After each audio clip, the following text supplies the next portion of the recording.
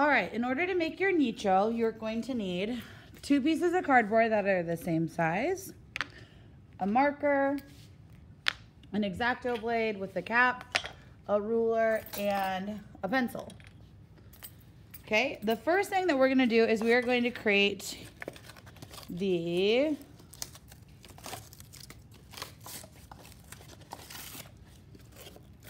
the base form here that we can fold up and hot glue together. So to do that, make sure my space is cleared. Just gonna do the width of the ruler. Now, if you want the sides to be taller, you need to measure those up more. Okay, but for me, I'm just gonna use the width of the ruler. So I lined it up to the outside edge of my cardboard, made sure that it was straight and drew a line. And I'm gonna do that around each of the four sides. Just making sure that it's consistent from side to side.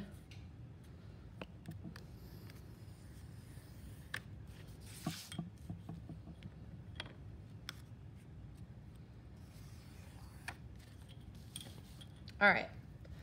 Now, with each of my four corners here, I'm going to add a blue line. And the blue line is gonna be the spot that I cut all the way through. Whereas the pencil line is gonna be where I just score it. Now, if you wanna use a ruler with your X-Acto blade, you can definitely do that. For me, it just seems to complicate things. So I'm going to just score, which means I'm not pushing through both layers of cardboard, just pushing through one. I can tell the difference because it kind of feels like my knife is like blah, blah, blah, blah, blah, blah, blah, Whereas if I'm cutting the whole way through, I'm touching the board on the bottom. So that was a score. So here's a straight up cut through. Okay, I can tell. If it didn't go all the way through, I can flip it over onto the back and kind of reinforce that line. But I'm only cutting the whole way through on the blue lines. Otherwise, I'm just scoring. So I'm gonna score this side now.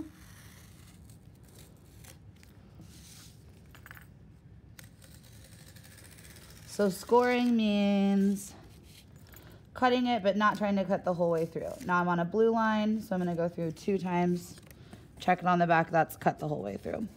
I'm gonna score this way.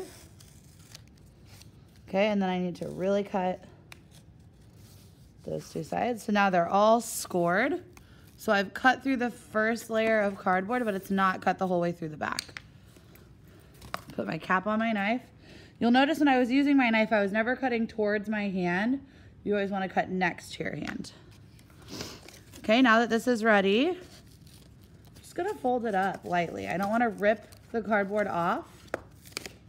So I'm just gently kind of folding.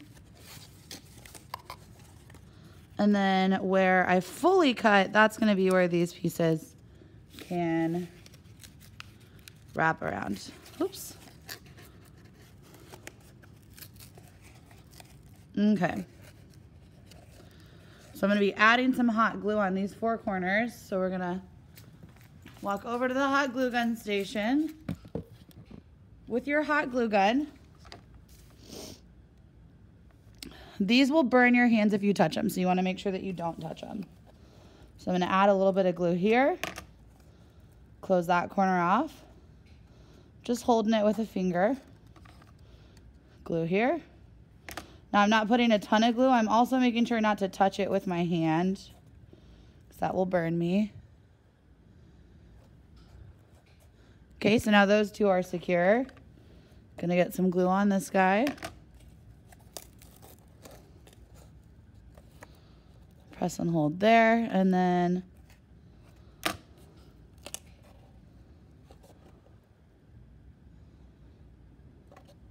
So now I have the niche that's gonna hold all the stuff inside. Okay, back over here. Now, this is gonna be the front part of my nicho, but I want my little box to be centered on top of it. And I'm gonna mark the corners.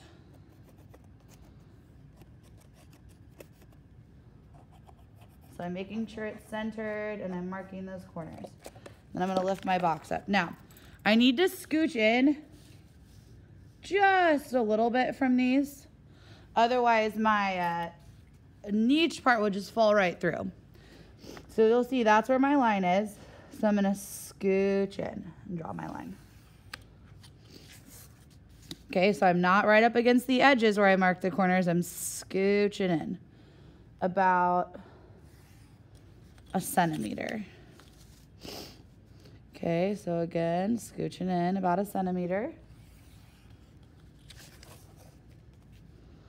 Lined up, scooch it in about a centimeter.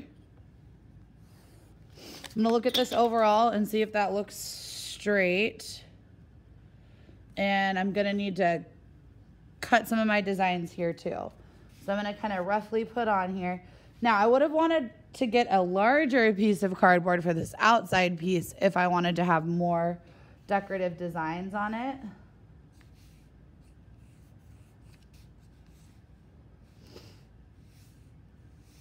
And I'm just gonna kind of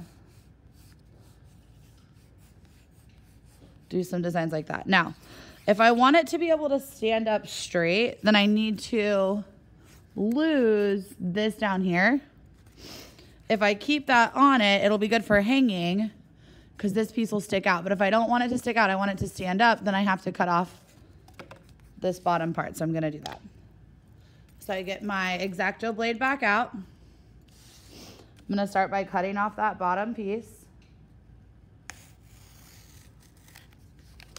Okay, I'm cutting the whole way through. If I don't get the whole way through, I can flip it over and kind of release it on that back side. Okay?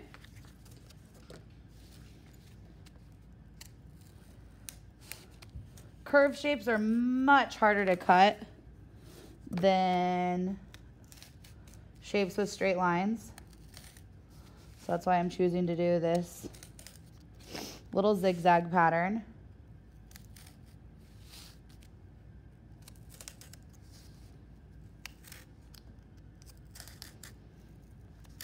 Okay. I want to make sure that I give myself room here. You'll notice that I left about a centimeter between my design and my line because if I don't, I'm going to lose that stuff and it's all going to start to fall off. So again, left like a centimeter.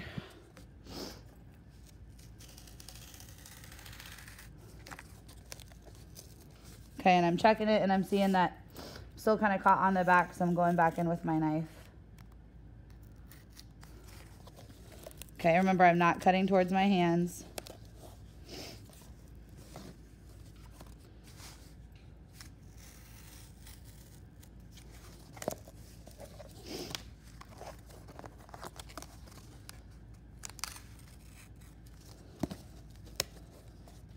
So the last little part that's not coming through is this line, so I'm just gonna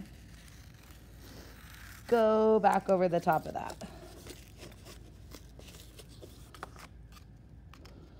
And if it's stuck, just go with my knife again. Sometimes I gotta go on both sides. All right, great success. Now I gotta get my other shapes cut out. Score it over the top of that. Need to go on the back.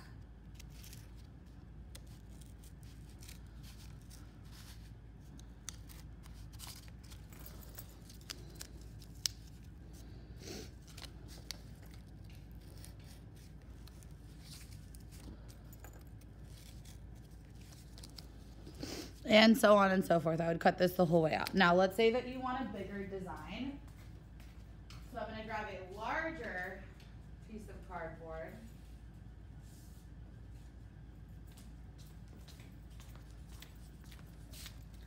So let's say one like this, you can see the size difference.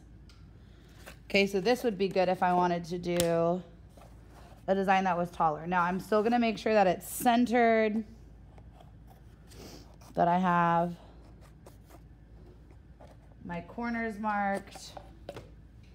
I'm still gonna scooch in a centimeter from where my lines are.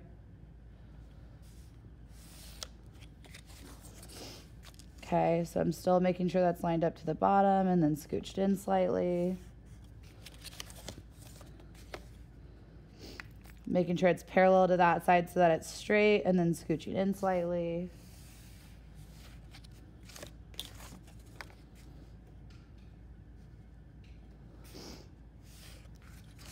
And then now I could do something like a guitar. Okay, so I've got a much larger area to work with. Okay, so I'm gonna go the same process, trying to pierce through both layers. So I'm pushing down hard. Always keeping my guiding hand out of the way.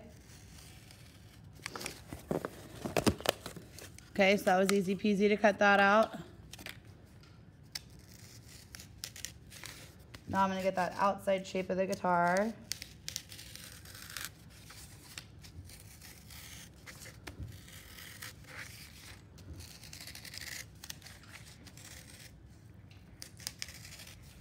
You'll notice I'm really turning the cardboard a lot more than I'm turning the knife.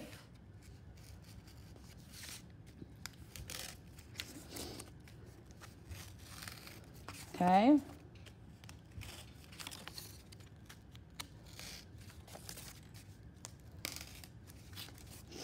Now I gotta check, it looks like. Got it mostly cut through. So I'm gonna pop it out. Okay, now I gotta go back over to the hot gluing station. So I've got my little nicho, my outside shape now.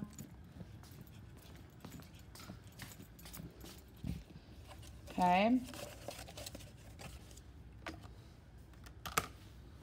Whoop, here we are. All right. Got my hot glue gun again. Making sure, oh, perfect. Everything lines up nice. I'm gonna turn this over. And I'm just gonna add thin bead of glue whole way across. If you run out of glue sticks, you can always ask for more glue sticks from me up in the front. So I've got my glue the whole way around here. And then I'm gonna lay my box top on top of that. Ooh, make sure you don't have this little gap. If you do, we can fill that in with some cardboard. So we can just come in and add that extra piece. That's why you wanna measure twice, cut once, and then you might need to scooch it around a little bit. Um, so you can always tack it in the corners. Okay, so I'm just using my glue gun right here to kind of fill in, and now it's ready to paint. Good luck.